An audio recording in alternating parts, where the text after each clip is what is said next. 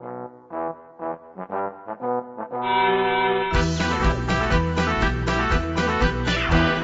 មគោរពបងប្អូនសាជាថ្មីម្ដងទៀតនៅក្នុងចំណាប់អារម្មណ៍ទី2នេះខ្ញុំចង់ចាប់ផ្ដើមអំពីលំដាប់ចិត្ត3ដែលបញ្ចេញសកម្មភាពមកខាងក្រៅទៅមើលទៅឃើញដូចគ្នាប៉ុន្តែក្នុងជំរឿចិត្តគឺថាមានលំដាប់ចិត្ត3ខុសគ្នាលំដាប់ចិត្តមានន័យថាវា ចេញពីទៀបទៅខ្ពស់លំដាប់វាមិនមែនគ្រាន់តែខុសគ្នាទេគឺលំដាប់ចិត្ត3ផ្សេងគ្នាលំដាប់ចិត្ត3ផ្សេងគ្នាដែលចេញជាសកម្មភាពមកគឺដូចគ្នាប៉ុន្តែសម្រាប់មនុស្សណាបងប្អូនមិនមែនសត្វដេរឆានទេ ការវាយតម្លៃទៅលើសកម្មភាពរបស់មនុស្សការវាយតម្លៃទៅលើមនុស្សត្រូវធ្វើនៅក្នុងជំរឿចិត្តរបស់មនុស្សពីព្រោះយើងមិនមែនសត្វដេរឆានទេ យើងគឺជាមនុស្សដូច្នេះការវាយតម្លៃ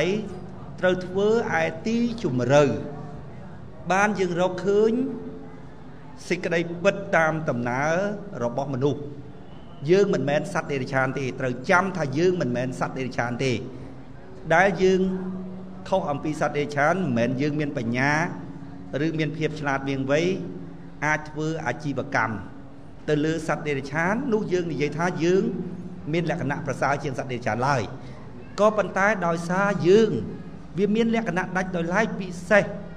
ខុសអំពីសត្វដេរឆានការវាយតម្លៃទៅលើសកម្មភាពឬតម្លៃទៅលើមនុស្សណាមួយត្រូវធ្វើនៅទីជម្រៅរបស់មនុស្សវាមានលំដាប់ចិត្ត3ដែលចេញជាសកម្មភាពដូចគ្នាប៉ុន្តែតម្លៃវាខុសគ្នាលំដាប់ចិត្តទី1គឺលំដាប់នៃការដោះដូរ គឺជាលំដាប់ចិត្តដែលទៀបបំផុតលំដាប់ចិត្តទី1គឺលំដាប់ចិត្តនៃលំដាប់នៃការដោះដូរក្នុងជំរឿចិត្តរបស់បុគ្គលនឹងគឺដោះដូរសកម្មភាពចេញមកគឺហាក់បីដូចជាការចែករំលែកចឹងវាមានការបំពេញសេចក្តីត្រូវការទៅវិញទៅមកប៉ុន្តែក្នុងជំរឿចិត្តគឺការដោះដូរវាមានតម្លៃមួយទៀតលំដាប់ចិត្តទី2គឺលំដាប់ចិត្តនៃការចែករំលែក អាចចេញជាការចែករំលែកបានលុះត្រាតែមโนសញ្ចេតនាដល់មុនកាលណាយើងស្រឡាញ់គ្នាយើងរាប់អានគ្នាដូចជាបងជាប្អូនក្នុងក្រុមគ្រួសារតែមួយសកម្មភាពខាងក្រៅមើលទៅដូចជាដោះដូរអញ្ចឹងវាបំពេញឲ្យគ្នាទៅវិញទៅមកដែរប៉ុន្តែក្នុងជំរឿគឺជាការចែករំលែកនេះគឺជាលំដាប់ចិត្តទី2ដល់លំដាប់ចិត្តទី3គឺជាលំដាប់ចិត្តនៃការផ្ដល់ឲ្យ មានតែការផ្ដល់ឲ្យ ដោយព្រះសម្មាសម្ពុទ្ធអញ្ចឹងលោកសម្ដែងថា សម្រាប់ប្រយោជន៍ជាបុគ្គលណាអស់ត្រឹមការត្រាស់ដឹង សម្រាប់ផលប្រយោជន៍ជាបុគ្គលផ្ទាល់ខ្លួនណាអស់ត្រឹមការត្រាស់ដឹងលែងធ្វើប្រយោជន៍ដើម្បីខ្លួនទៀតហើយអស់ហើយលែងទៅរៀនទៅសូត្រទៅរកស៊ីអីទៀតហើយប្រយោជន៍តខ្លួនគឺអស់ត្រឹមការត្រាស់ដឹង ពីព្រោះការត្រាស់ដឹង គឺមានន័យថាអស់អញ បើអស់អញហើយទៅរកប្រយោជន៍ដាក់ឲ្យខ្លួនឯងយ៉ាងម៉េចទៅទៀតវាអស់អញវាអស់សម្គាល់ថាមានអញកាលណាអ្នកអាចបំបែកការភ័ន្តច្រឡំថ្នាក់ពលត្រូវថាមានអញបំបែកការភ័ន្តច្រឡំថ្នាក់ពលត្រូវថាមានអញវាទៅជាអស់អញពេលនោះផលប្រយោជន៍ជាបុគ្គលគឺអស់ហើយអស់ជាផលប្រយោជន៍បុគ្គលហើយតែពពុទ្ធលោកនៅតែរក្សាជីវិត គេថានិព្វានមានរូបនិព្វាននៅរូបមានន័យថាអស់អញហើយប៉ុន្តែនៅរូបលោកប្រាប់ថារូបរាងកាយរបស់តថាគតនេះជីវិតរបស់តថាគតនេះសម្រាប់តថាគតគឺមានតម្លៃជាអង្កត់អស់ពីព្រោះការរកប្រយោជន៍សម្រាប់បុគ្គលអស់ត្រឹមការត្រាស់ដឹងទោះបីជាអ្នកក្រោយព្រះសម្មាសម្ពុទ្ធក៏ដោយដើរតាមលំអានព្រះសម្មាសម្ពុទ្ធក៏ដោយមិនមែនជាអ្នកត្រាស់ដឹងដោយខ្លួនឯងក៏ដោយ លំដាប់រកប្រយោជន៍តខ្លួនគឺអស់ត្រឹមការត្រាស់ដឹងអ្នកដើរក្រោយប្រពុតហ្នឹងបងប្អូន បានទៅជាព្រះអរហន្តហ្នឹងដែលប្រពុតលោកនាំពីមានអញមានទុកទៅអស់អញអស់ទុកគឺផលប្រយោជន៍ផ្ទាល់ខ្លួនអស់ត្រឹមការត្រាស់ដឹងលោកប្រាប់ថាសម្រាប់ប្រយោជន៍បុគ្គលតថាគតអស់ហើយប៉ុន្តែព្រះសម្មាសម្ពុទ្ធនឹងលោកទុករាងកាយនឹងទុកជីវិតនឹងដើម្បីជាប្រយោជន៍សាធារណៈ ដូច្នេះលំដាប់ចិត្តរបស់លោកគឺជាលំដាប់ចិត្តនៃការផ្ដល់ឲ្យសុទ្ធសាធគ្មានការទៀមទាគ្មានការចែករំលែកសេចក្តីសុខអីជាមួយនឹងយើងទេ ជាលំដាប់ចិត្តនៃការផ្ដល់ឲ្យទាំងស្រុងប៉ុន្តែក្រោយពីព្រះសម្មាសម្ពុទ្ធផ្ដល់ឲ្យទាំងស្រុងអានិសង្ឃការស្រឡាញ់ការថែធួនការផ្គត់ផ្គង់មើលទៅដូចជាការចែករំលែកមួយអញ្ចឹងមើលទៅដូចជាការដោះដូរអញ្ចឹង ប៉ុន្តែលំដាប់ចិត្តនោះគឺលំដាប់ចិត្តខ្ពស់បំផុតលំដាប់គុណធម៌ខ្ពស់បំផុតក្នុងជំរឿចិត្តគឺជាលំដាប់ចិត្តនៃការផ្ដល់ឲ្យលំដាប់ចិត្តទៀតជាងគេបំផុតគឺលំដាប់ចិត្តនៃការដោះដូរលំដាប់ចិត្តបន្ទាប់គឺលំដាប់ចិត្តនៃការចែករំលែកមានការចែករំលែកបានឬអាចចាត់ទុកថាជាការចែករំលែកបានលុះត្រាតែនៅក្នុងជំរឿចិត្តរបស់យើង មានមโนសញ្ចេតនានឹងគ្នាទៅវិញទៅមក ចង់រួមសុខរួមទុក្ខជាមួយគ្នាណារួមសុខរួមទុក្ខជាមួយគ្នា មានន័យថាយើងនៅមានប្រយោជន៍អំពីតំណាក់តំណងរវាងអ្នកទាំងពីរចង់រួមសុខរួមទុក្ខជាមួយគ្នា តែលំដាប់ចិត្តរបស់ព្រះសម្មាសម្ពុទ្ធគឺជាលំដាប់ចិត្តដែលអស់ផលប្រយោជន៍ផ្ទាល់ខ្លួនគ្មានរួមសុខរួមទុក្ខអីជាមួយនឹងយើងទេ គឺលោកផ្ដល់ឲ្យទាំងស្រុងហ្មងពីព្រោះប្រយោជន៍សម្រាប់បុគ្គលអស់ត្រឹមការត្រាស់ដឹងក៏ប៉ុន្តែក្រោយពីពុទ្ធលោកធ្វើល្អជាមួយនឹងយើងទៅយើងក៏ផ្ដល់ឲ្យព្រះសម្មាសម្ពុទ្ធនៅការថែទាំនៅចំណីអាហារមើលទៅដូចជាការបំពេញតាមរយៈនៃការចែករំលែកឬការដោះដូរដែររូបភាពខាងក្រៅមើលទៅដូចគ្នាអញ្ចឹងប៉ុន្តែនៅក្នុងជំរឿវាខុសគ្នាខ្លាំងណាស់បងប្អូនយើងជាមនុស្សខ្ញុំរំលឹកឲ្យមនុស្សទៀតមនុស្សមិនសត្វដេរឆានទេណា កន្លែងខ្លះចំណុចខ្លះគឺយើងមិនអាចធ្វើបានហ្មង ពីព្រោះហួសលំដាប់ជាមនុស្សអញ្ចឹងបានមានពេលខ្លះខ្ញុំឃើញគេថោកហួសបងប្អូនខ្ញុំចង់ចំតិតគូតស្រែកខ្ញុំថាវាទៅមិនរួចហ្មងខ្ញុំថាទៅមិនរួចហ្មងអញធ្វើមិនកើតហ្មងឲ្យអញតសើខុសការពិតទៅតែមួយម៉ាត់បាន10លានក៏អញធ្វើមិនកើតមិនបានគេធ្វើកើតគេនិយាយថាចុះវាអស់ថ្មអីអា គ្រាន់តែបញ្ជោគេតិចទៅថាអត់ទេធ្វើមិនកើតហ្មងបងប្អូនហេតុអីថាយើងមនុស្សមិនសត្វដែលឆានទៅវាអត់រួចដល់ពេលមានមនុស្សខ្លះគេថាថោកដាច់កលៈណាវាអត់មានទៅដល់កលៈនេះទៅអត់រួចទេអញទៅដល់កលៈនេះទៅអត់រួចទេស្អីក៏វាទៅរួចដែរនោះណាខ្ញុំថាថោកដាច់កលៈសួរតែហេតុអ្វីបានជាយើងទៅអត់រួចពីព្រោះយើងជាមនុស្សវាទៅអត់រួចដល់ពេលយើងវាយតម្លៃអ្នកដតីក៏វាយតម្លៃបែបមនុស្សដែរ លំដាប់ទី1ដែលយើងមើលឃើញថា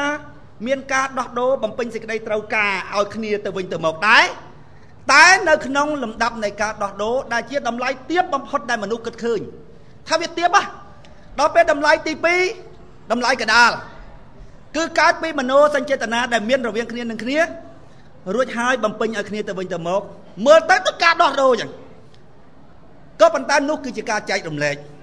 ឋានៈខ្ពស់ហើយបងប្អូនថ្នាក់ខ្ពស់ហើយដែលពិភពលោកសពថ្ងៃកំពុងតែអប់រំមនុស្សឲ្យនៅក្នុងឋានៈហ្នឹងរស់នៅគិតប្រយោជន៍ផ្ទាល់ខ្លួនខ្លះទៅរួចហើយចែករំលែកទៅសង្គមវិញខ្លះទៅគឺគេអប់រំក្នុងឋានៈហ្នឹងបងប្អូនហើយអប់រំអត់បានផងដល់ពេលលំដាប់ខ្ពស់បំផុតលោកបណ្ឌិតអ្នកប្រាជ្ញទាំងឡាយជីវិតរបស់លោកបូជាទាំងស្រុងដើម្បីមនុស្សមានតែការផ្ដល់ឲ្យប៉ុន្តែ លោកក៏បានជាអានិសង្សត្រឡប់មកវិញយើងមើលទៅហាក់បីដូចជាការចែករំលែកអញ្ចឹងហាក់បីដូចជាការដោះដូរអញ្ចឹង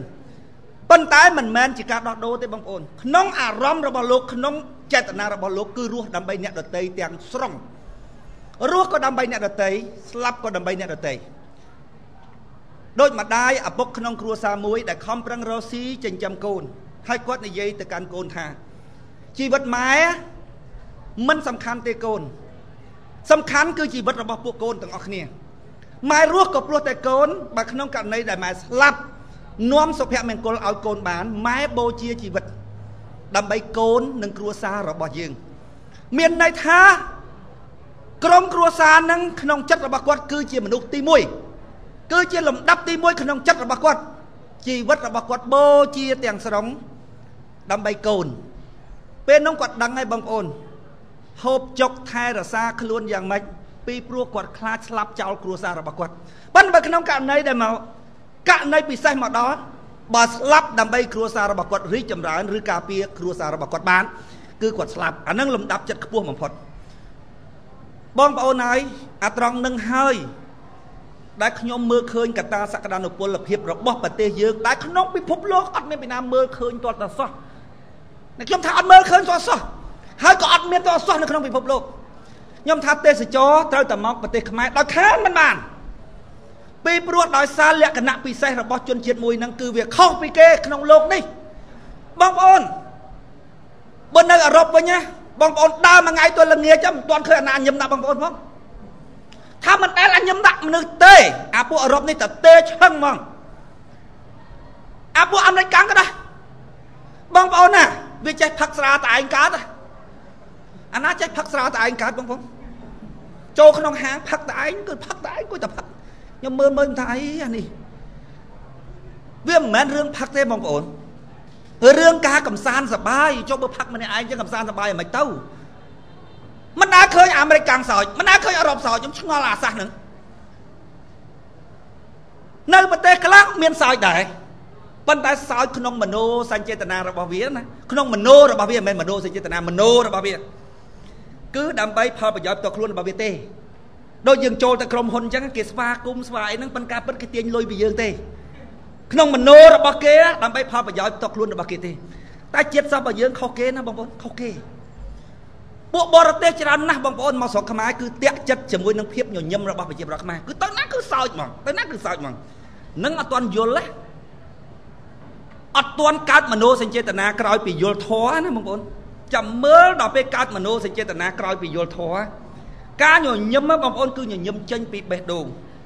មានសេចក្តីសង្កត់សណ្ដោសនៅក្នុងការញញឹមមើលឃើញពួកអឺរ៉ុបហ្នឹងគួរឲ្យអាណិតពីព្រោះពួកវាមិនយល់ធម៌ដល់ពេលអញ្ចឹងបេះដូងរបស់យើងដែលញឹមទៅគឺអាញឹមចេញពីខាងក្នុងទៅដែលជាលក្ខណៈដាច់ដោយឡែកខុសអំពីពូជសាសនាទាំងអស់លើលោកខ្ញុំថាវិស័យទេសចរគឺផ្អែកទៅលើលក្ខណៈមួយហ្នឹងណាបងប្អូន ហើយយើងកសាងប្រទេសរបស់យើងឲ្យទៅជាតំបន់ទេសចរមួយដែលតាក់ទាញមិនថាលើសគេបានទេគឺថាប្រហែលប្រហែលនឹងគេអាទេសចរល្បីល្បីរបស់គេហ្នឹងយើងធ្វើប្រហែលនឹងគេនិយាយពីរឿងលោកកសម្ភារៈប៉ុន្តែដែលពិសេសជាងគេគឺស្នាមញញឹមរបស់ជនជាតិហ្នឹងវាចេញពីក្នុងពោះទៅទេសចរមួយណាមកក៏ទទួលអារម្មណ៍ថាជនជាតិមួយហ្នឹងគឺខុសគេ ជាលក្ខណៈដាច់ដោយឡែកដែលទេសចរ ឲ្យតែឈានជើងដល់ប្រទេសខ្មែរម្ដងរួចហើយដាច់ខាតត្រូវតែមកជាលើកទី2រួចហើយនឹងហៅអ្នកដទៃទៀតឲ្យមកប្រទេសខ្មែរដល់ខានមិនបានពេលព្រោះពិភពលោកសប្ងៃឯកោណាស់បងប្អូនអញ្ចឹងបានខ្ញុំឃើញសំរៀងស៊ីកឹមសុខាគេអួតពី Western ចេះ Western ចុះណាអូសហគមន៍អឺរ៉ុបចេះប្រទេសប្រជាធិបតេយ្យចេះចេះខ្ញុំទទួលស្គាល់រឿងផ្លូវច្បាប់បងប្អូន តែរឿងមនោសញ្ចេតនាមួយខ្ញុំសុំបដិសេធខ្ញុំមិនដឹកនាំប្រទេសឲ្យដូចពួកអឺរ៉ុបទេបងប្អូនបងប្អូនវាមិនត្រឹមតែមិនបានដល់លំដាប់នៃការផ្ដល់ឲ្យទេណាបងប្អូនលំដាប់នៃការចែករំលែកក៏គ្មានទៀតជាលំដាប់នៃការដោះដូរខ្ញុំមិនអាចអនុញ្ញាតឬមើលឃើញប្រជាប្រដ្ឋនៃប្រទេសរបស់ខ្ញុំរស់នៅក្នុងភាពជាមនុស្សក្នុងភាពជាសត្វចឹងទេបងប្អូនដោះដូរសត្វទេបងប្អូន ចូលទៅក្នុងហាង ហាងឧទាហរណ៍ថាហាងស្រាមួយគូស្នេហ៍មកគូរបស់វាបងប្អូនអាសាសនឹងចូលចិត្តបញ្ជក់មាត់នោះបញ្ជក់គឺថាដាដាជីបដាដាជីបដាដាជីបចូលទៅក្នុងហាងជីបជីបគ្នាណាជីបរួចហើយទិញស្រាផឹកស្រីក៏ផឹកស្រាប្រុសក៏ផឹកស្រាសួរភ្លាមផឹកអត់ស្រីគេថាផឹកប្រុសហត់ទិញណាសួរស្រីថាផឹកអត់ស្រីគេថាផឹកអាប្រុសគេសួរថាផឹកប្រមាណ ផឹកតិចឬផឹកច្រើនបើស្រីគេថាផឹកច្រើនអឺបើស្រីគេថាផឹកតិចអូខេបើមួយដបនឹង30ដុល្លារណាបើផឹកតិចចេញ10ដុល្លារមកចេញ10ដុល្លារមកវាផឹកច្រើនចេញ30ហើយមិនជក់បាត់នេះជីបជីបសោះណាដល់ពេលទិញស្រាមួយដបសួរថាផឹកអត់ផឹកតិចហើយផឹកច្រើនបើផឹកតិចស្រាមួយដបចេញ10ដុល្លារមកខ្ញុំផឹកច្រើនចេញ20ដុល្លារ អញ្ជក់មាត់គ្នាសោះបងប្អូនពិចារណាមើលសួរអញ្ជក់មាត់គ្នានឹងដើម្បីអីថាដោះដូរហែងក៏ចង់ដែរអញក៏ចង់ដែរបានស្រួលទាំងអស់គ្នា បានមានអារម្មណ៍សោយសុខទាំងអស់គ្នាក៏អញ្ជក់មាត់គ្នាទៅមិននោចេតនាទេណាដោះដូរគ្នាគ្រាន់តែដេកនៅជាមួយគ្នាដោះដូរគ្នាដែរប្រវាស់គ្នាបងប្អូនប្រវាស់គ្នាបងប្អូនចង់ដឹកនាំប្រទេសឲ្យដូចពួកអឺរ៉ុបងាប់បងប្អូនខ្ញុំមើលមើលទៅខ្ញុំថាងាប់ហើយ មនោសញ្ចេតនាពូជសាសនេះគឺគ្មានតំងបងប្អូនបើដោយរឿងខាត់សខីមថ្ងៃមុនណាយើងណាជាជាតិសាសមួយ ដែលមានមនោសញ្ចេតនាច្រើនណាបងប្អូនពេលខាត់សខីមធ្វើមិនមិនត្រឹមត្រូវជាមួយបាក់យើងបងប្អូនគេធ្វើមិនត្រឹមត្រូវវាយប្រហារបាក់របស់យើងបងប្អូនអារម្មណ៍របស់យើងវាទាញទៅហ្មងណាអ៊ំខាត់គាត់ទាញហ្មងណាអារម្មណ៍ទាញហ្មងគឺថាយើងហាមាត់វាយកូនគាត់អត់កើតដោយសារអារម្មណ៍របស់យើងនឹងសំណោះអ៊ំខាត់នឹងហ្មងទាញទៅហ្មងណា មិនក្បាលគិតទេអឺរ៉ុបស្អែកអញ្ចឹងបងប្អូនបើថាវាស្រឡាញ់ឪគឺឪកូនគឺកូនហ្មងអត់រវល់ទេវាអត់មានមโนសញ្ចេតនាទេបងប្អូនយើងអត់ទាន់យកក្បាលទៅគិតទេបងប្អូនមโนសញ្ចេតនាយើងទាញទៅមុនហ្មងរកតែហាមាត់វាយខាត់សុខិនរកហាមិនចាញ់ហាមិនចាញ់4 10ដងហាមិនចាញ់ចិត្តរបស់យើងដូចថាអ៊ំខាត់នឹងគាត់ទាញហ្មងណាយល់មុខអ៊ំខាត់តែនឹកឃើញដល់អ៊ំខាត់ឡើងបាត់អស់លេងអារម្មណ៍វាយខាត់សុខិនអញ្ចឹងអារម្មណ៍របស់យើង ពួកអឺរ៉ុបស្អែកចង់ណាបងប្អូនបើថាកូនហែងត្រូវខុសគឺវាយគ្មានយល់មុខហែងទេវប្បធម៌របស់វាអញ្ចឹងហ្មងបងប្អូនអត់មានមโนសញ្ចេតនាអីទេផឹកស្រាផឹកតែឯងសូម្បីតែការដេកនៅជាមួយគ្នាគ្រាន់តែជាការប្រវាស់ដូចខ្ញុំនិយាយមិញអញ្ចឹងដើរតាមផ្លូវជក់មាត់គ្នាអត់ឈប់បន្តិចតិចជីបបន្តិចតិចជីបមើលតែដូចស្រឡាញ់នេះអញ្ចឹងចូលទៅដល់ក្នុងហាងភ្លាមផឹកស្រាផឹកអត់សួរផឹកអត់ផឹកផឹកតិចផឹកច្រើន ផឹកតិចអាបើផឹកតិចម្ដប30ឯងចេញ10ដុល្លារមកអញចេញ20ហើយបើលោតាថាចាក់ទៅហើយទាចាក់ច្រើនអត់បានទៀតរករឿងឡើយណាបងប្អូនឯណាទៅមโนសញ្ចេតនារស់នៅដូចសត្វដេរឆានអញ្ចឹងរស់កើតដែររស់កើតដែរបងប្អូនចាណាមករស់កើតដែរអញ្ចឹងបានលឺសំរងស៊ីកឹមសុខាគេអួតប្រទេសអស់ហ្នឹងខ្ញុំថាអូយអញបើរឿងផ្លូវច្បាប់ស្រុកនឹងច្បាប់វាតឹងរឹងច្បាប់នៅលើមនុស្សទាំងអស់គ្នាអញទទួលស្គាល់ពិតប្រកបណាស់ ប៉ុនបើឲ្យដឹកនាំប្រទេសដោយពួកអាអឺរ៉ុបនឹងសុំទោសអញមិនដឹកនាំទេបងប្អូនខ្ញុំថាអត្តចរិតដែលកើតមកពីហ្សែនខ្មែរឈាមជាខ្មែរបងប្អូនវាមានអាមនោសញ្ចេតនាពីកណើតនឹងស្រាប់ហើយពូជនឹងសបោមនោសញ្ចេតនាណាបងប្អូនពូជຕົកម៉ែឪក្នុងផ្ទះអញ្ចឹងណាបីបាច់ថែរក្សាម៉ែឪរហូតដល់ស្លាប់លើដៃខ្លួនឯងពូជមានមនោសញ្ចេតនាពូជនឹងអន់តន្តិចរឿងភ្លើ ភ្លើពូជហ្នឹងរៀងភ្លើអញ្ចឹងមកបើថែមតាភ្លើហ្នឹងណាបំពេញតាភ្លើហ្នឹងបានណាបងប្អូនពូជហ្នឹងគឺខ្លាំងបងខ្ញុំថាបើបើយើងឆ្នះឆ្នោតទៅធ្វើវិស័យទេសចរបើយើងអភិវឌ្ឍអូតែលអភិវឌ្ឍកន្លែងលេងវាមិនអាចឲ្យលើសគេលើលោកទេវាប្រហែលជាមួយគេដែរប៉ុន្តែដែលប៉ុន្តែអ្វីដែលបរទេសចងចាំហើយនិយាយតគ្នាបំផុតទៅបងប្អូនត្រូវតែមកប្រទេសខ្មែរគឺស្នាមញញឹមមួយដែលចេញមកពីបេះដូងហ្មងបងប្អូន យើងមើលគេដែលគេមិនយល់ធម៌បងប្អូនយើងមើលដោយសេចក្តីអាណិតទៅបងប្អូនយើងជាអ្នកយល់ច្រើនជាងគេមានសេចក្តីសន្តោសបងប្អូនដូចយើងមើលតែកូនក្មេងទោះបីវាឆ្លាតប៉ុណ្ណាក៏ដោយក៏វានៅតែជាកូនក្មេងដែរអាពួកដែលមិនយល់ធម៌ទោះបីជាវាមានប៉ុណ្ណាក៏ដោយយើងមើលទៅក៏នៅតែក្រោមយើងដែរដល់ពេលអញ្ចឹងអារម្មណ៍យើងដែលញឹមទៅបងប្អូនគឺអាញឹមដោយក្តីសន្តោសបងប្អូនមិនមែនអាញឹមរលុយគេទេបងប្អូនណាវិស័យទេសចរមួយអូចិញ្ចឹមជាតិសាសន៍របស់យើង ធ្វើឲ្យមានលក្ខណៈពិសេសដាច់ដាច់ដាច់ដាច់ដោយឡែកអង្គរវត្តត្រូវធ្វើកន្លែងមួយពិសេសដាច់ដោយឡែកដែលជាលក្ខណៈទេសចរតំបន់នោះឲ្យខុសពីតំបន់ផ្សេងផ្សេងក្នុងប្រទេសខ្មែររបស់យើងធ្វើផ្លូវអាទិត្យទើងត្រង់ទៅដល់កំពង់សោមកំពង់សោមត្រូវតែកសាងមួយកន្លែងមួយដាច់ដោយឡែកបងប្អូនកោះរងសប្ងៃឆ្នេរខ្សាច់ឡងសស្គុះបងប្អូនបងប្អូនទៅមើលបងប្អូនហើយ បើថាអភិវឌ្ឍដល់កន្លែងនោះប្រជាពលរដ្ឋដឹងតែលហាហ្មងឲ្យតែអភិវឌ្ឍទៅដល់គឺដឹងតែលហាហ្មងតំបន់ណាឲ្យតែប្រុងអភិវឌ្ឍទេគេទៅឆ្កោះឆ្កៀលចាក់រុកបំភ័យប្រជាពលរដ្ឋនឹងថាចេះថាចុះទាល់តែគាត់លក់ដីអស់ទាល់តែគេទិញដីអស់សពគ្រប់បានគេចាប់ដើមធ្វើប្លង់រួចហើយអភិវឌ្ឍទៅសួរចោះបងប្អូនសិតតដីអុកញ៉ាដីអ្នកធំទាំងអស់ជាប់ជាប់ជាប់ជាប់ជាប់មាត់សមុទ្រហើយប្រជាពលរដ្ឋនៅតាំងពីយូរមកហើយ បងប្អូនពិចារណាមើលសួរថាតើការអភិវឌ្ឍបែបហ្នឹងវាបានដល់ដៃរបស់ប្រជាពលរដ្ឋអត់បើយើងកាន់វិញណាបងប្អូនគឺថាទេសចរទៅក្រឹកក្រឹកហ្មងបងប្អូនខ្ញុំមើលឃើញចន្លោះប្រហោងច្រើនណាស់បងប្អូនហើយមហាសានចន្លោះប្រហោងចាប់ផ្ដើមចុះចុះទូកពីកំពង់សោមទៅកោះរងមើលដបងដៃគឺអនាម័យបងប្អូនក៏ក្រិចនំម៉ែអាក៏ក្រិចអាពងវាខ្ញុំពាក់ខ្ញុំខ្ពើមហ្មងនិយាយពីក្អែលឡងខ្មៅទាំងអស់អាភ្ញៀវទេសចរមើលទៅអូខ្ពើមពងហ្មង ព្រោះយើងជិះទៅគេឲ្យពងយើងមួយមួយពាក់ពងឲ្យក៏ក្រិចហ្មងបងប្អូនថាក៏ក្រិចទី2ម៉ែអាញ៉ៃញ៉ៃថាម៉ែអាញ៉ៃញ៉ៃហ្មងបងប្អូនលក់សបត់តាវាត្រូវលក់ដូចកៅអីកប៉ាល់ហោះចឹងបងប្អូនកៅអីកប៉ាល់ហោះគេដឹងជួទីប្រមាណទីប្រមាណទីប្រមាណរួចស្រេចហ៎បងប្អូនហើយនោះចូលទៅអាខ្លះអង្គុយអាខ្លះឈរអាខ្លះអង្គុយខ្លះឈរអាភ្ញៀវបរទេសឈរមើលមុខគ្នាហ្មងវាទិញកៅអីរួចហើយអត់បានអង្គុយ ឲ្យឡើងពេញមនុស្សដាក់កៅអីទៅរៀបជួគ្នាដាក់កៅអីអញ្ចឹងផង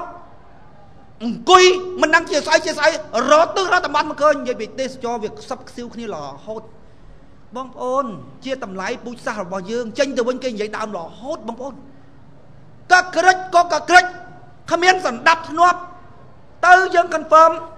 ទូកនឹងថាត្រឡប់មកវិញម៉ោងប៉ុណ្ណេះម៉ោងប៉ុណ្ណេះយើងឧបមាទៅពីកំពង់សោមយើង confirm ទុកឲ្យហើយ ឥឡូវយើងមកវិញម៉ោង5ព្រមហើយជាមួយយើងថា confirm អីរួចហើយស្រាប់តែទៅដល់ហ្នឹងថាអេអត់ទេឥឡូវពេញមកហើយអត់បានទេអ្នកឯងត្រូវវិញមកវិញម៉ោង3ត្រឡប់តលិនហើយជិះទូកមួយណាក៏ដូចមួយណាគឺអញ្ចឹងទាំងអស់សម្ព័ន្ធឈ្នះឆ្នោតទៅសុំទោសហ្មងគឺដេញភ្លាមណាត្រូវតែមានកៅអីរួចស្រេចហ្មងអ្នកឯងទិញកៅអីលេខប្រហែលលេខប្រហែលក្នុងអូប័រហ្នឹងទិញរួចស្រេចទាំងអស់ហ្មងចេញមកគឺពូជថ្លៃធ្នូហ្មងមកដល់ប្រទេសខ្មែរគឺអវិន័យហ្នឹងគឺត្រឹមត្រូវហ្មង ហើយចូលទៅដល់កន្លែងនោះបងប្អូនហើយដឹងស្អី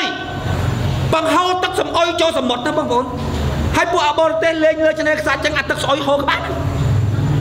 អាយយអីក៏ថោកទៀតម៉េះបងប្អូនអីក៏កលួងម៉េះពូជសាសរបស់យើងអីក៏យ៉ាងហ្នឹងរដ្ឋាភិបាលអត់ខ្វល់ទេគិតតែមានកម្រងធ្វើម៉េចដេញប្រជារដ្ឋកន្លែងហ្នឹងតំបន់ហ្នឹងឲ្យចេញទៅទៀតអភិវឌ្ឍអាម៉េចបងប្អូនខ្ញុំមកធ្លាប់ទៅកោះនៅថៃបងប្អូនគ្មានកោះណាស្អាតបែបកោះខ្មែរទេបងប្អូន ស្អាតមែនតើមកសួរឲ្យស្គូសមកបងប្អូនហើយទៅសភាពមកតំណងណាបងប្អូនហើយបែរមុខមករសមុទ្ររបស់យើងព្រោះសមុទ្ររបស់យើងវាមានអាកូនកោះទុយទុយទុយទុយហ្នឹងវាបាំងវាបាំងវាបាំងខ្ជុះដល់ពេលចឹងទឹកសមុទ្ររបស់យើងស្ងប់ល្អជាងទឹកសមុទ្រប្រទេសផ្សេងផ្សេងឆ្នេរខ្សាច់យើងក៏ល្អហើយតែឆ្នេរខ្សាច់ពណ៌សហើយបងប្អូនត្រូវដឹងថាខាងក្នុងហ្នឹងគឺផ្កាថ្មហើយបើឆ្នេរខ្សាច់ហ្នឹងពណ៌ក្រហមគឺអាខាងក្នុងហ្នឹងថ្មហើយ ព្រោះថ្មវាវាយវាយវាយដាច់មកជាខ្សាច់ខ្សាច់ខ្សាច់មកក្រហមដល់ពេលណាឃើញឆ្នេរយើងពណ៌សគឺដឹងថាក្នុងសមុទ្រហ្នឹងគឺផ្កាថ្មច្រើនហើយហើយបរទេសវាចូលចិត្តមើលផ្កាថ្មហ្នឹងណាបងប្អូនចូលចិត្តណាស់បងប្អូនបើយើងធ្វើតំបន់ទេសចររបស់យើងឲ្យល្អបងប្អូនអូតែលក៏ឡើងអាការលក់ដូរក៏ឡើងស៊ីសម្បូរសបាយមកហើយធ្វើលក្ខណៈឲ្យពិសេសពិសេសដាច់ដូចគ្នាបើបំពេញហ្មងបងប្អូនខ្ញុំឃើញអស់ដីអាលីងធ្វើឲ្យកន្លែងធំណាសម្រាប់សបាយអស់ហើយ បង្កក់គេយកបាត់ហើយបើបង្កក់នៅធ្វើកដាបង្កក់ហ្មងខ្ញុំមើលឃើញខ្ញុំឃើញតែពលានកប៉ាស់ហោះពូចតុងហ្នឹងហ្មងយកវាចេញយកវាចេញ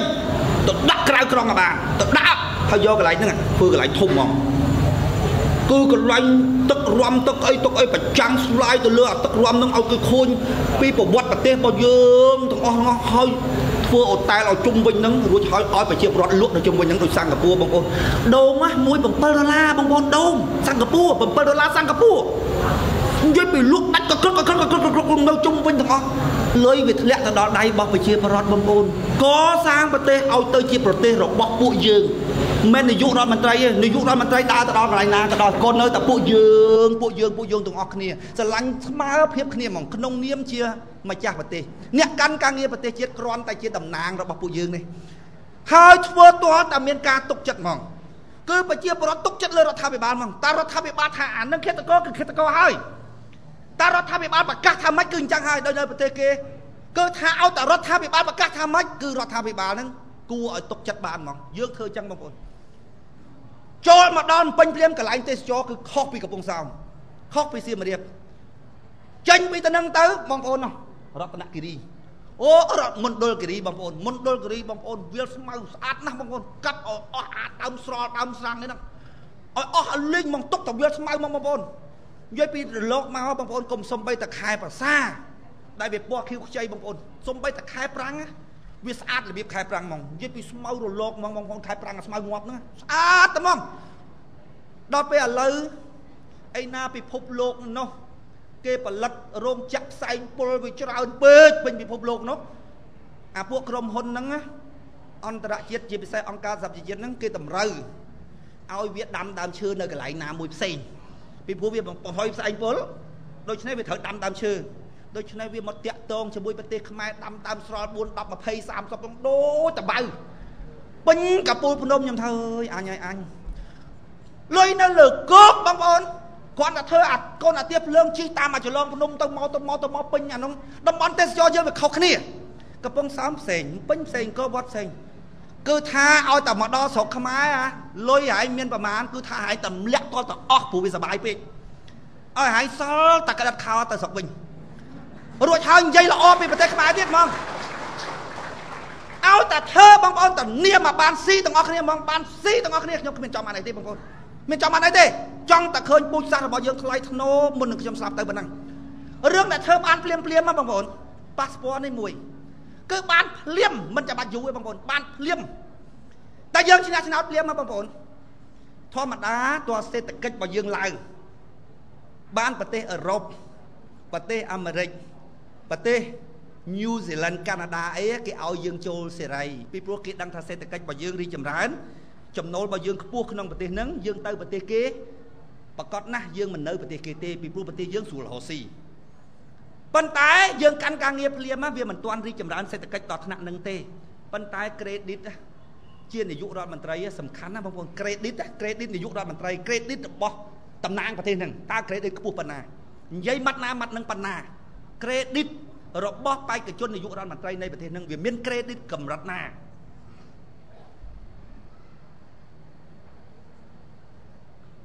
លុយយើងខ្ចីគេសម្ងាយតិចណាបងប្អូនតិចប៉ុណ្ណឹងតិចណាបងប្អូន គេអាចឲ្យយើងខ្ចីច្រើនជាងនឹងទៀតវាមិនសំខាន់ទេអារឿងយើងខ្ចីវាសំខាន់តើខ្ចីគេបានរួចហើយយកមកធ្វើការមានប្រសិទ្ធភាពប៉ុណ្ណាចំណេញសងលុយគេទៅវិញឬអត់មកអានោះវាសំខាន់ណាកុំខ្លាចអាចពាក់បំណុលគេនឹងបងប្អូន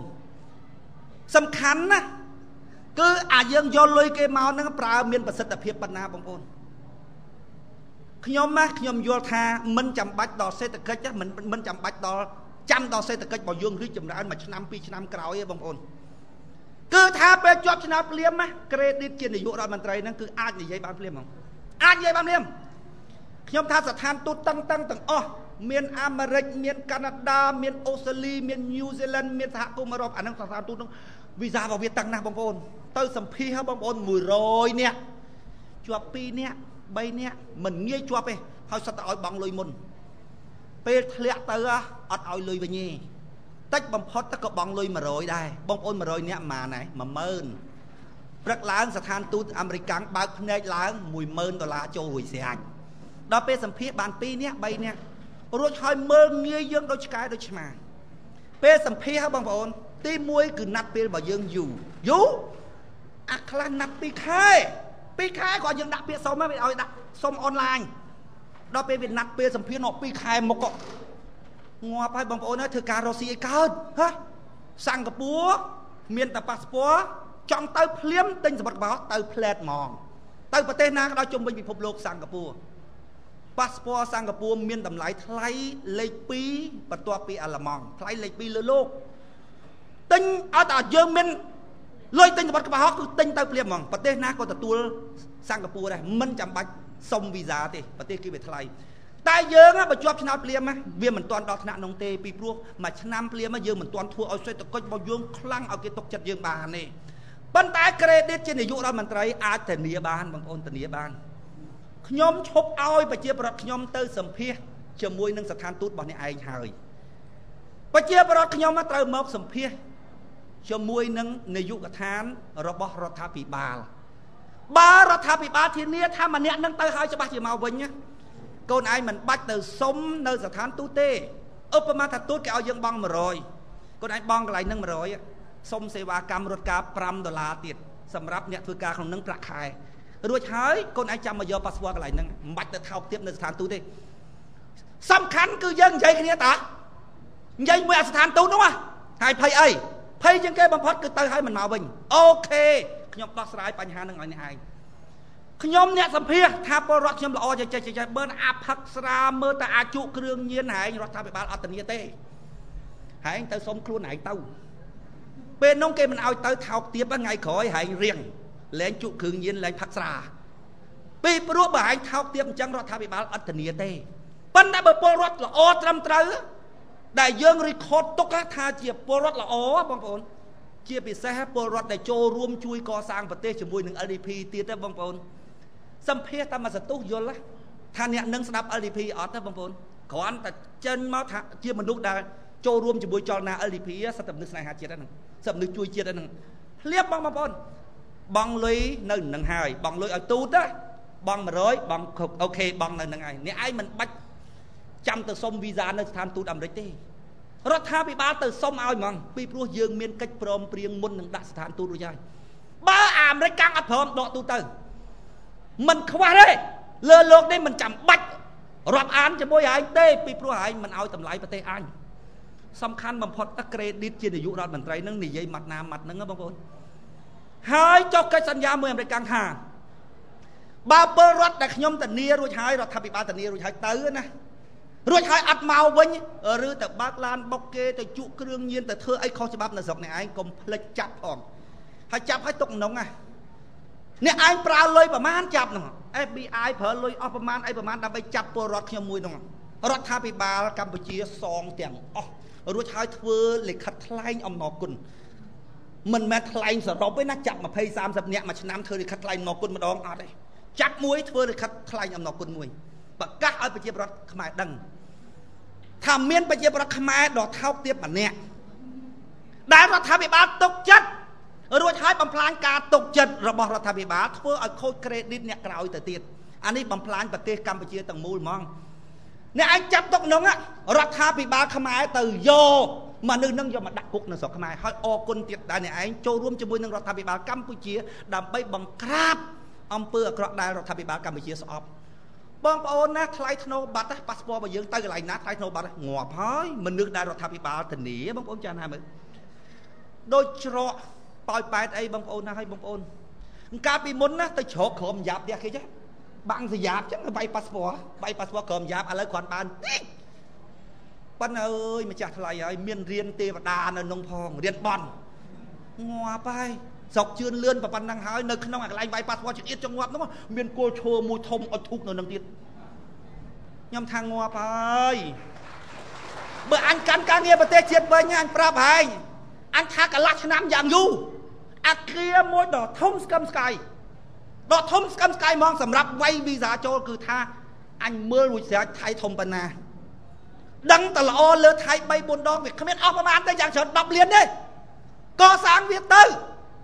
រួចហើយមកដល់ស្រុកខ្មែរគឺចម្លែកខុសពីស្រុកថៃភ្លាមហ្មងស្រុកថៃបងប្អូនឥឡូវខ្មែរនាំស៊ីខ្មែរនាំស៊ីនាំស៊ីខ្មែរគ្នាឯងវាធ្វើកខ្មែរគ្នាឯងដឹងវាធ្វើមកចេះពេលណាយើងចូលទៅភ្លាមវាធ្វើឲ្យកកស្ទះ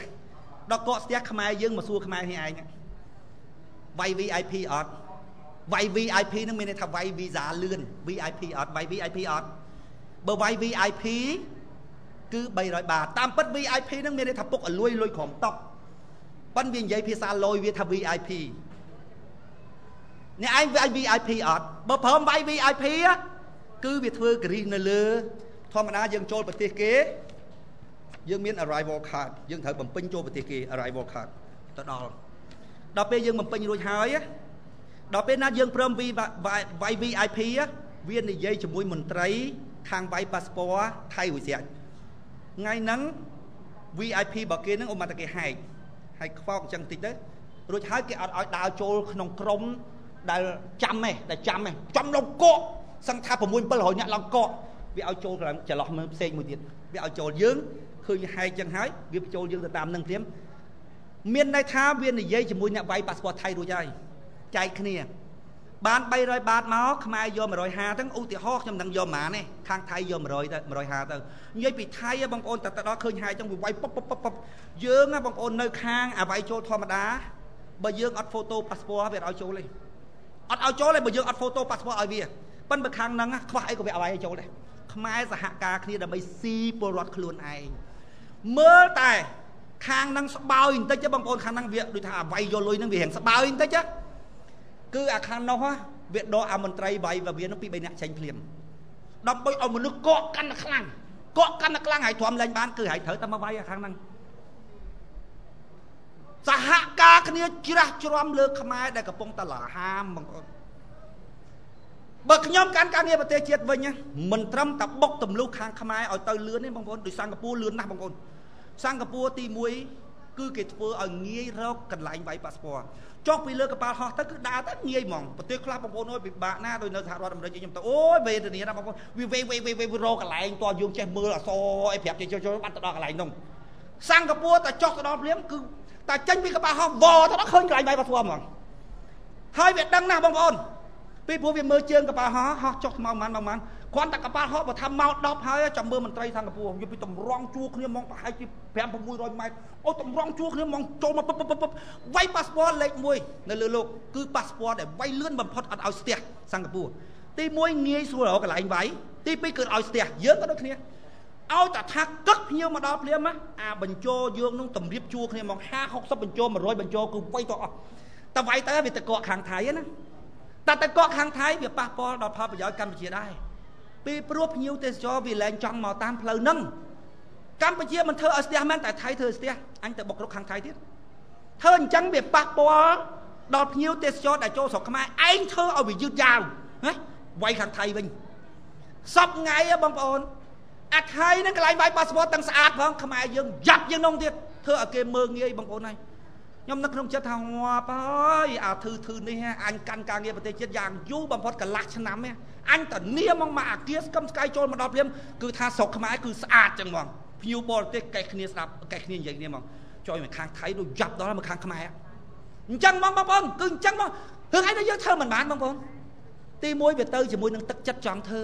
ទឹកចិត្តសពថ្ងៃមានទឹកចិត្តអីដល់ចង់ធ្វើបើវាប្រជុំគ្នាវានិយាយតែរឿងស្រី ពីរឿងលុយពីរឿងតំណែងពីរឿងទួនាទីវាធ្វើខ្លះហ្នឹងក៏វាធ្វើដើម្បីបានសិលឹកឆ្នោតដែរមិនមែនវាដេកគិតថាតើត្រូវធ្វើម៉េចឲ្យខ្មែរនេះចម្រើនទេហើយសោះបងប្អូនបងប្អូនឲ្យតម្លៃមនុស្សឲ្យតម្លៃលើអីឃើញឲ្យតម្លៃលើទឹកចិត្តទេបើបងប្អូនអត់ចេះឲ្យតម្លៃលើទឹកចិត្តមនុស្សទេណាបងប្អូនស្មើនឹងបងប្អូនពង្រៀនកូនរបស់បងប្អូនអត់ឲ្យដឹងគុណបងប្អូនដែរកាលណាបងប្អូនមើលងាយទឹកចិត្តមនុស្សដែលចង់ជួយបងប្អូនណា ស្មើនឹងបងប្អូនបង្រៀនកូនបងប្អូនណាកុំឲ្យវាដឹងគុណម៉ែដែរពីព្រោះគំរូហ្នឹងបងប្អូនគំរូដល់ពេលម៉ែនឹងជាមនុស្សល្អពាក្យខ្មែរយើងគេថាមកយកឃើញគុណទុនភ្លុនសំពះដឹងថាមនុស្សនេះមានទឹកចិត្តល្អចំពោះយើងគឺគោរពទឹកចិត្តហ្មងមិនមែនគោរពអាស្អីដែលគេឲ្យមកយើងនោះទេអាស្អីគេឲ្យមកយើងជួនកាលប្រកបបងប្អូនក្នុងជំរឿចិត្តរបស់គេគេចង់បានផលប្រយោជន៍ផ្ទាល់ខ្លួនទៅវិញណា ពេលណាបងប្អូនចេះឲ្យតម្លៃមនុស្សតាមទឹកចិត្តណាពេលណាបងប្អូនដឹងថាទឹកចិត្តរបស់មនុស្សនេះល្អបងប្អូនជាឪពុកម្ដាយបងប្អូនចេះគោរពទឹកចិត្តល្អរបស់អ្នកដទៃចំពោះខ្លួនណាដូចបងប្អូនបង្រៀនកូនខ្លួនឯងអញ្ចឹងឲ្យចេះដឹងគុណម៉ែឪអញ្ចឹងដល់ពេលបងប្អូនឃើញអាណាធ្វើល្អជាមួយបងប្អូនក៏ដោយបងប្អូនមិនដែលរវល់ដូចបងប្អូនបង្រៀនកូនរបស់បងប្អូនអត់ឲ្យដឹងគុណខ្លួនឯងអញ្ចឹងបងប្អូនចាំមើលកូនរបស់បងប្អូនណាចាំមើល តម៉ែឪវាជាមនុស្សដែលដឹងគុណគេសពបែបសពយ៉ាងអាគំរូហ្នឹងផ្ដល់ដល់កូនណាវាគោរពទឹកចិត្តម៉ែឪរបស់វាមុនគេបំផុតបងប្អូនណាទឹកចិត្តរបស់អ្នកដឹកនាំណាដែលឈឺឆ្អាលជាមួយនឹងប្រជាប្រដ្ឋណាបងប្អូនគិតដល់ក្រែដេករបស់បងប្អូនគិតដល់ក្រែដេកគិតដល់ឆ្នាំងបាយគិតដល់តុកបាយគិតដល់កន្លែងសម្ងាត់សម្ងាត់របស់ជីវិតគ្រួសាររបស់បងប្អូន ជាឪពុកម្ដាយដែលខ្វល់ខ្វាយអំពីកូនគិតសពបងប្អូនកូនដេកក៏ដោយខ្លួនឯងអត់ដេកទេគិតអំពីកូនថាតើវាមិនសិង្ហបុរីអញ្ចឹងបងប្អូនលីខ្វាន់យូដែលដឹកនាំប្រទេសរីចម្រើនបើមិនអញ្ចឹងរឿងអីទៅគាត់កាត់សក់ក្រហមបងប្អូនគាត់ណាសក់ក្រហមសក់អញតើមិនតែសក់អីហែងលីខ្វាន់យូកាត់សក់ក្រហមអាណាសក់ក្រហមអត់បានទេអាណាដុតផាវដុតអីអត់បានទេបើខ្មែរយើងវិញអាណាដុតតងាប់ដុតតែអានឹងរឿងឯកជន រឿងឯកជនមែនក៏ប៉ុន្តែវាងាប់ដល់ប្រជាប្រដ្ឋរបស់យើងលើកលែងតែបេះដូងរបស់អ្នកឯងមិនចាត់ទុកប្រជាប្រដ្ឋហ្នឹងជាក្រុមគ្រួសារតែមួយបើមិនជឿឃើញកូនហែងខំថ្ងៃទ្រាំបានអត់បងប្អូនសរុបមកវិញអ្វីដែលខ្ញុំចង់ឲ្យបងប្អូនចេះឲ្យតម្លៃនោះគឺបងប្អូនត្រូវមើលទៅលើទឹកចិត្តបើសិនជាបងប្អូនមើលសកម្មភាពខាងក្រៅបងប្អូនអត់ដឹងថាសកម្មភាពខាងក្រៅនឹងវាចេញពី បេះដូងឬដួងចិត្តជាការដោះដូរឬចេញមកពីមโนសញ្ចេតនានៃការចែករំលែកឬក៏វាចេញពីទឹកចិត្តនៃការផ្ដល់ឲ្យលំដាប់ចិត្ត3ណាបងប្អូនដែលមើលសកម្មភាពខាងក្រៅដូចជាការដោះដូរអញ្ចឹងទី1ដោះដូរដូចខ្ញុំនិយាយថាអាមេរិកកាំងមិនអញ្ចឹងណាសំបីតែវាដេកនៅជាមួយគ្នាដោះដូរទេបងប្អូនវាត្រូវការស្រួលរៀងខ្លួនទេវាគ្មានមនោចេតនាទេអាពូជសាសមួយហ្នឹងវាបានដែរអាមួយខាងក៏ត្រូវការមួយខាងក៏ត្រូវការមិនបាន បានទាំងសងខាងប៉ិនជំរឿចិត្តជាការដោះដូរដូចសัตว์ដូចធាតទេបងប្អូនដូចសัตว์ខ្ញុំមិនចេះរស់នៅជាមួយមនុស្សគ្មានមនុស្សចេតនាទេបងប្អូនដល់ពេលកម្រិតទី2គឺកម្រិតនៃការចែករំលែកចង់រួមរស់ជាមួយគ្នាការចែករំលែកអាចចាត់ទុកជាការចែករំលែកបានលុះត្រាតែមានមโนសញ្ចេតនាស្រឡាញ់រាប់អានគ្នាមុនសិនបានអាចកើតចេញជាការចែករំលែកដល់ពេលកម្រិតទី3បងប្អូនជាពិសេសគឺកម្រិតតបជួមុខ ដែលផ្ដល់សេចក្តីសុខដល់មាតុភូមិរួមទាំងអ្នកដឹកនាំនៃប្រទេសនឹងផងគឺជាលំដាប់ចិត្តនៃការផ្ដល់ឲ្យអ៊ីស្រាអែលបងប្អូនតបតបរបស់វាគឺជាលំដាប់លំដាប់ចិត្តនៃការផ្ដល់ឲ្យលះបង់ជីវិតដើម្បីបម្រើមโนសញ្ចេតនារបស់វាចំពោះពូជសាសន៍របស់វាយើងតវឹកដល់កន្លែងនោះបងប្អូនចាណាគិតទៅក្រៅអំពី LDP គ្មានអាណានិយាយរឿងហ្នឹងទេខ្ញុំមើលឃើញកត្តាសក្តានុពលភាពមួយដែល តាក់ទាញវិស័យទេសចរគឺស្នាមញញឹមដែលជាអត្តចរិតជា culture ជាវប្បធម៌របស់ជាតិសាសន៍នឹងដែលរកអត់បានក្នុងពិភពលោកបងប្អូនរកបានទេអាហ្វ្រិកក៏ដោយអាមេរិកខាងជើងខាងត្បូងឯណាឯណីក៏ដោយអត់ទេសំបីតែថៃនឹងក៏ដល់ខ្មែរដែរបងប្អូនអាស្នាមញញឹមហ្នឹងខ្មែរមានពីកំណើតបន្ថែមតការយល់ដឹងអំពីធម៌យល់ដឹងពីជីវិតបន្ថែមបច្ចេកទេសមកគឺជាលក្ខណៈមួយពិសេសដាច់ដライដែលពិភពលោករកមិនបានទេមានតែក្នុងស្រុកខ្មែរទេបងប្អូន រួចហើយយើងកសាងវិស័យទេសចរមក KAA ដូចសាសគេដតីទៀតមកថែមតែធនធានមនុស្សរបស់យើងមកគឺវិស័យរបស់ទេសចររបស់យើងដើរវូហ្មងគ្រាន់តែវិស័យទេសចរមួយដើរបងប្អូនលុយអាហ្នឹងគេហៅឧស្សាហកម្មគ្មានផ្សែងអូលុយច្រើនណាស់បងប្អូនបន្ទាប់ពីប៉ុណ្ណឹងមកបងប្អូនធ្វើឲ្យអាជីវកម្មខ្មែរដើរថែមវិស័យទេសចរមួយជួយខ្មែរមកខ្ពស់ធ្វើឲ្យវិស័យពាណិជ្ជកម្មរបស់ខ្មែរដើរ ទី1បងប្អូនណាសពថ្ងៃនេះវាអត់ដើរដោយសារលក់ចាពាក់វាអត់បានលក់ចាពាក់អត់បានទេបងប្អូនជាពិសេសអ្នកធំលក់គ្រឿងសំណង់ធ្វើសំណង់ធ្វើអីនេះបងប្អូនធ្វើចំផ្ទះអ្នកធំគឺដឹងអាប្រកាច់ហើយកុំថាតែសំណង់បងប្អូននេះអាថតរូបនេះបងប្អូនថតរូបការនេះភ្នួងការនេះនិយាយពីតាក់បានម៉ួយកូនអ្នកធំសบายចិត្តបន្តិចឯងប៉ុនភ័យបន្តិចដែរថតអស់2000 3000អីហ្នឹងបងប្អូនណាគេកក់មុនតែ4 500ដល់ពេលយើងទៅទាលុយគេ ជួនកាលជួបនៅហាងយើងទាលុយគេហាងចាំទៅយកទៅផ្ទះហ៎ស្អែកហ៊ានទៅស្អែកហ៊ានទៅវាអត់ដើរពាណិជ្ជកម្មវាអត់ដើរបងប្អូនគ្រឿងសំណង់គ្រឿងអីបងប្អូនពិចារណាមកសពថ្ងៃលោកអត់បានទេរឿងប្រដាក់ជាពិសេសគឺអ្នកធំអ្នកក្រហ៊ានប្រដាក់គេអី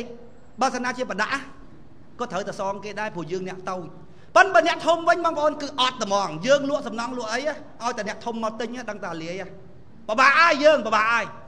អញ្ចឹងដើម្បីជំរុញពាណិជ្ជកម្មហ្នឹងឲ្យវាដើរបងប្អូន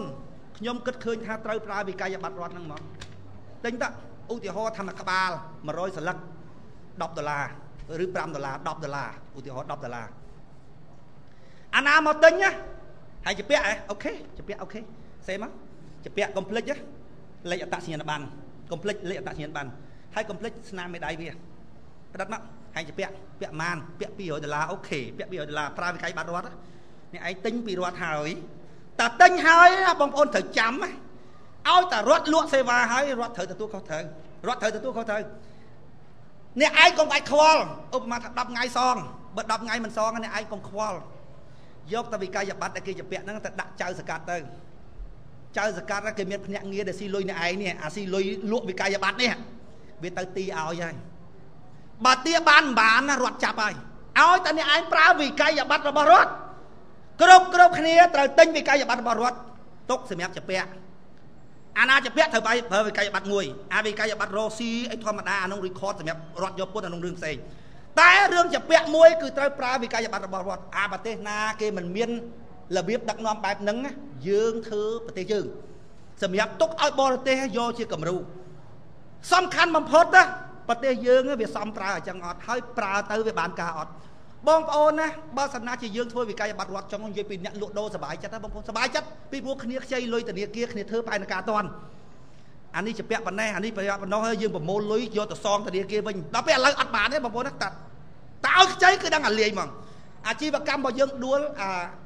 អាគាររបស់យើងផ្ទះរបស់យើងដីរបស់យើងដែលប្រចាំជាមួយនឹងធនាគារធនាគាររឹបអស់ហើយសួររដ្ឋាភិបាលដែរគិតទេបងប្អូន ទី1អត់មានចិត្តទី2បើមានចិត្តបងប្អូនក៏ក្បាលនឹងទៅមិនរួចដែរបងប្អូនទៅមិនរួចទេប៉ុន្តែសំខាន់ដំបូងឡើយគឺអត់ចិត្តនឹងហ្មងខ្ញុំថាវិក័យប័ត្រនេះគឺជួយឲ្យពាណិជ្ជកម្មក្នុងប្រទេសនោះគឺដើរហ្មងដើរហ្មងបងប្អូនលក់បដាអញ្ជើញលក់ហើយកុំខ្វល់គេមិនសងយកវិក័យប័ត្រហ្នឹងទៅដាក់សកាត់រួចហើយហើយនៅកន្លែងណាក្នុងប្រទេសខ្មែរក៏ដោយមកទិញកន្លែងហ្នឹងហើយនៅបាត់ដំបងក៏ដោយក៏មានភ្នាក់ងារទៅទីហើយដែរ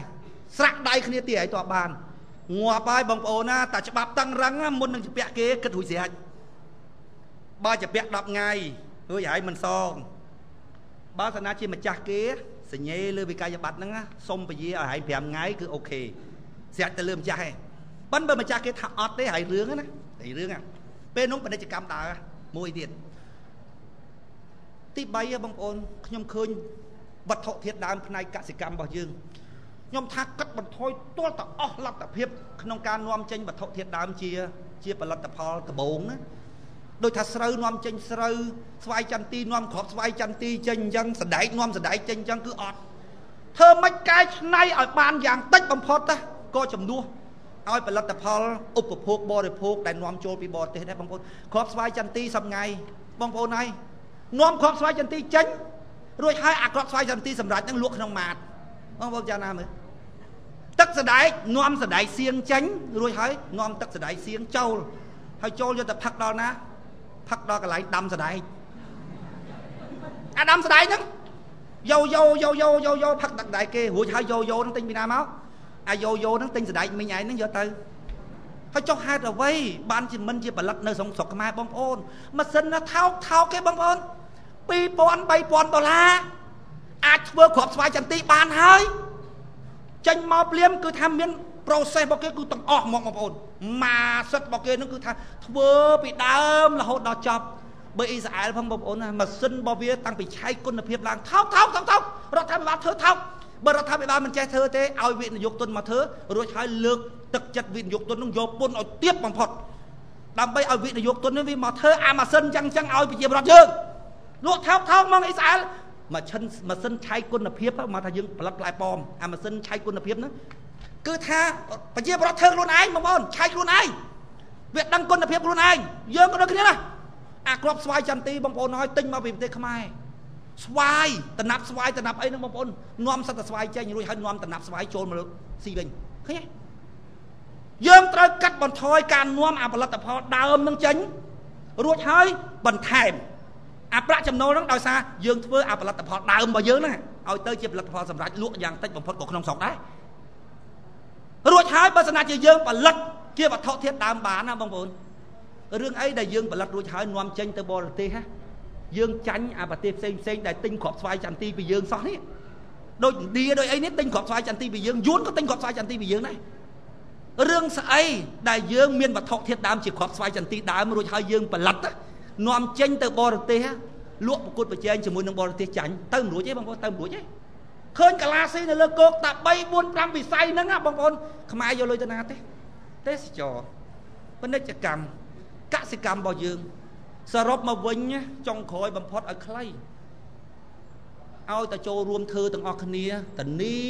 មកធ្វើបានស្អីដែលខ្ញុំនិយាយមិញហ្នឹងខ្ញុំសូមបញ្ចប់ចំណាប់អារម្មណ៍គ្រាចុងក្រោយរបស់ខ្ញុំទៅប៉ុណ្ណេះ